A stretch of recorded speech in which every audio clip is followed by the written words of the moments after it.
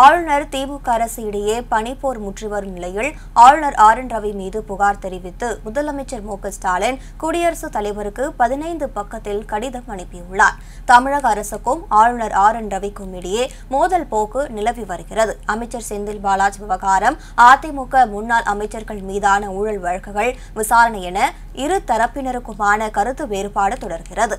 டெல்லியில் முகாமிட்டுள்ள ஆளுநர் R N Ravi நேற்று மத்திய உள்துறை அமைச்சர் அமித்ஷாவை சந்தித்து பேசினார். மேலும் மத்திய சட்டத்துறை அமைச்சர் அர்ஜுன் ராம் மெகவல் அட்டார்னி ஜெனரல் வெங்கட் ரமணி ஆகியோரையும் சந்தித்து செந்தில் பாலாஜி விவகாரம் தொடர்பாக ஆளுநர் ஆலோசனை நடத்த உள்ளதாக கூறப்படுகிறது.